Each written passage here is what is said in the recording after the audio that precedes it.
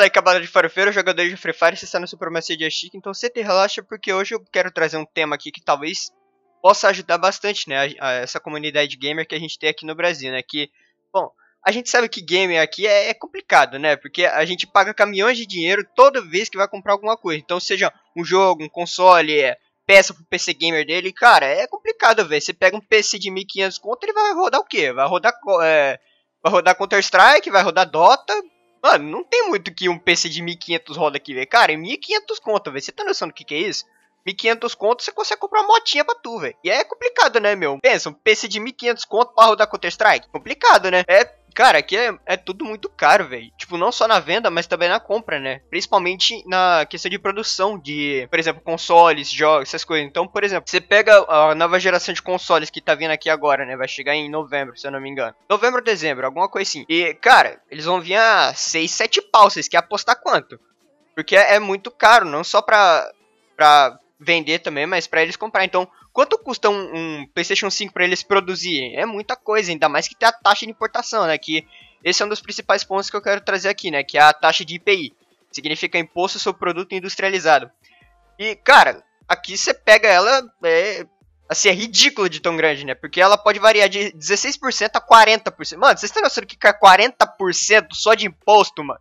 Só de imposto? Imagina você ter que comprar um negócio de 300, é, de 300 conto Aí você vai lá e tem que pagar 400, 500 contos só por causa de imposto. Vocês têm noção do que, que é isso? Só de imposto.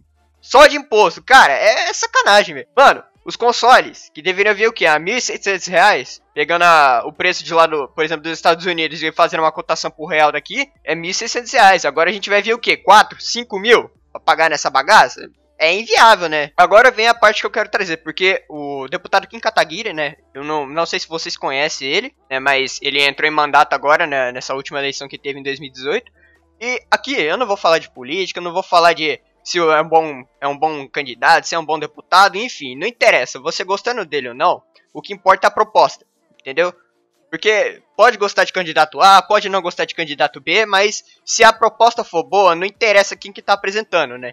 E a proposta dele é a seguinte: ele quer baixar para 15% essa taxa de imposto sobre o produto, que já é o que é pago pelos celulares, por exemplo, né? Então, o celular você tem uma taxa de 15%, né? Não só celular, mas é, televisão, celular, é, qualquer meio eletrônico já custa 15%.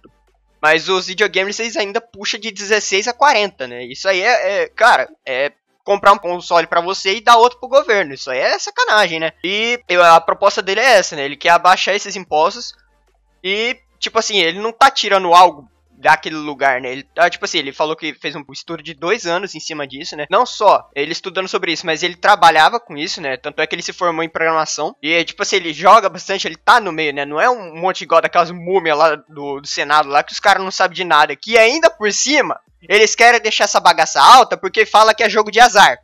Beleza, né? Tem, a gente tem FIFA aí, mas não é jogo de azar, pelo contrário. É uma nova forma, né, de entretenimento que já passou cinema e música. Tipo assim, se juntar cinema e música não dá videogame junto. E eles agora estão querendo bater esporte. Que eu não duvido nada que daqui a alguns anos já não vai ter batido. Porque aí você vê é, campeonato de esporte, Cara, os caras tá, tá arregaçando, né? Tipo assim, daqui um tempo não duvido nada que vai ter mais gente querendo assistir um campeonato de Counter-Strike do que de, de futebol, tá ligado? Daqui a pouco vai ter que ter Copa do Mundo de, de campeonato de esportes, porque é sacanagem, né? E eles falam que é jogo de azar só por causa disso, né? E, tipo assim, não é só por causa disso. O, o que a gente sabe é que é jogo de azar para eles.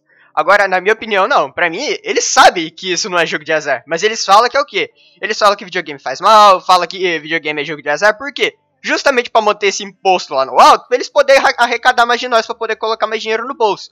Né? Eu não tô afirmando nada, eu só acho que é assim, porque eles sabem disso. Eles sabem disso. Não vai falar que não sabe porque sabe.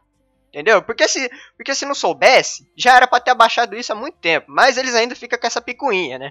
E assim, comparando com arma de fogo, cara, é, é praticamente a mesma coisa que eles estão fazendo. Porque você pega. Você pega algo, fala mal dele, e ainda por cima coloca, é, coloca um monte de imposto lá para ser mais difícil o acesso ainda por cima. Eu não tô dizendo aqui que arma de fogo é bom, que deveria legalizar, não. Isso daí é papo para outro vídeo e não é o foco desse vídeo aqui. Mas só para desencargo de é, comparação, é basicamente isso. Você fala que tá ruim, né, que é algo que faz mal, e, e aí por cima aumenta o imposto para ser mais difícil o acesso. Que é exatamente isso que tá acontecendo com o videogame. Essa galera aí fala mal pra caramba, e aí aumenta o, os impostos em cima disso. Pra quê? Pra poder arrecadar mais. Não é porque faz mal. Essa picuinha aí já foi faz tempo, velho. Já foi faz tempo. Entendeu? Ninguém aguenta mais isso, velho. É todo dia mesmo a picuinha, todo mundo já sabe, velho. Já existe vários estudos falando que violência e videogame não tem nada a ver. Tem nada a ver. Pelo contrário, já apareceram vários estudos, vários mesmo. Se você pesquisar aí, vai aparecer milhões de de estudos que já foram feitos provando que videogame faz bem e não faz mal. Entendeu? Tanto é que você não encontra nenhum estudo, nenhuma base científica que fala que videogame faz mal. Entendeu? E aí o que acontece? Por conta de ter um imposto muito alto, assim, alto pra caramba, as pessoas tendem a achar meios de poder, né, poder driblar esse imposto para pagar menos, porque, tipo assim, videogame hoje em dia é coisa de elite, né? Não é qualquer um que consegue ter. Principalmente porque é muito caro. Galera de, tipo assim, de renda mais baixa não consegue ter. E não é porque não quer. Cara, você pergunta pra qualquer, pra qualquer pessoa na rua, ah, você queria comprar esse novo PlayStation 5 que tá saindo? Eu duvido que não vai aparecer uma pessoa que não. Que não vai querer. Por quê? Porque não quer? Não.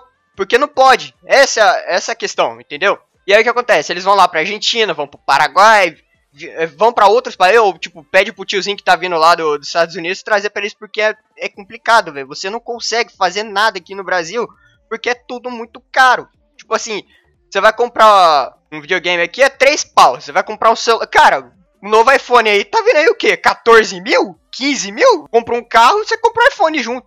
Beleza, né? Cara, é inacreditável, velho. Enfim, os videogames eles são uma das maiores indústrias do mundo. E não investir nisso é burrice.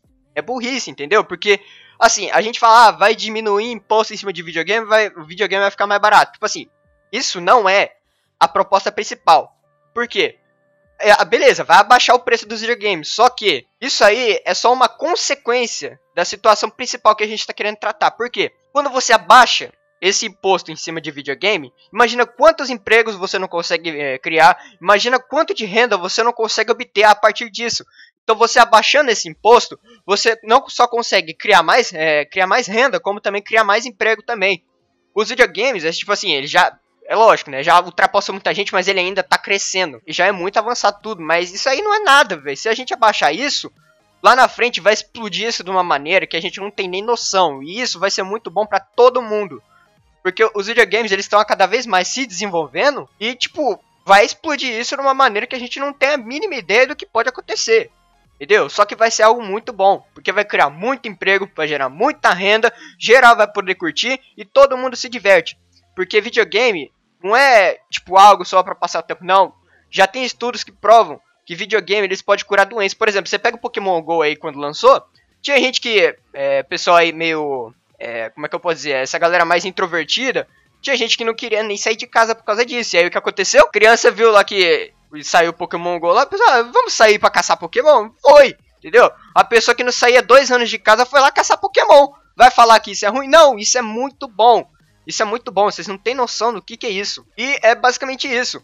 Só que aí, eu tenho certeza que daqui a pouco vai aparecer os picuinha falando assim: ah, mas por que, por que, que não se importa com coisa mais importante? Videogame não é coisa para se importar. É sim, é importante sim debater, porque videogame não é só entretenimento. É, é indústria, é emprego, é renda, é tudo isso e muito mais. Então, antes de você falar que videogame não tem que ser, não tem que ter grande importância no momento, sim, tem que ter importância. Porque videogame foi a única coisa que cresceu durante essa quarentena. Os dados estatísticos dele mostram que o videogame ele cresceu durante essa, essa quarentena que a gente teve. Por quê? Porque o pessoal tá tudo em casa, comprou o videogame e vai ficar jogando, ainda tá, tá com tempo livre. Enfim, outra coisa também que eu sei, tenho certeza que vai ter alguém para falar, vai ter certeza. Que assim, vai ter alguém falando que, ah, mas por que, que se preocupa com videogame e não se importa com comida, que é muito mais importante? Entenda uma coisa, velho. Não tem imposto sobre produto em cima de alimentos que existem na cesta básica. Então, não, não tem nem o que discutir, velho. É importante debater? É importante. Só que não, não tem como debater mais, porque não tem mais imposto em cima disso, né? Então, comida é algo importante? É importante, mas também não tem que se preocupar tanto porque não tem tanto imposto em cima disso. Agora, videogame tem. Você paga um, um console para poder ter um para você, entendeu? Você compra dois consoles e um você entrega pro governo. Isso aí é complicado. Eu vou estar tá deixando o link aí embaixo, né, do vídeo do Kim, né, caso vocês queiram dar uma olhada, né, e ele vai explicar exatamente o que, que tá pegando, né, ele vai mostrar para vocês com dados estatísticos mais do que eu, vai falar para vocês, né, como que vai funcionar isso daí. E novamente, não é porque é o Kim Kataguiri que a proposta não é boa, entendeu? Independente de, do político que apresentar isso, se a proposta for boa, vocês têm que analisar. Se a proposta for boa, beleza. A gente elogia e ainda dá apoio. Só que se a proposta for ruim, a gente desce o cacete também, porque é isso que tem que fazer. Principalmente se é algum político que você apoiou. Principalmente isso, tem que cobrar. A questão é a seguinte, eu tô fazendo esse vídeo aqui porque ele já falou que tá encaminhado, ele já falou que, né, já tem forma de conseguir fazer isso, só que acontece. Para esse negócio ir para frente realmente, a gente vai precisar botar pressão nesse povo para o presidente da república ele conseguir conseguir não, né? Ele fazer a, a liminar para poder fazer isso, né? Então, não depende mais deles, agora depende da gente botar pressão para fazer os caras fazer isso, né? Porque se depende, se depender deles, eles não fazem. Você acha mesmo que eles vão querer abaixar imposto para arrecadar menos? Para, velho, para.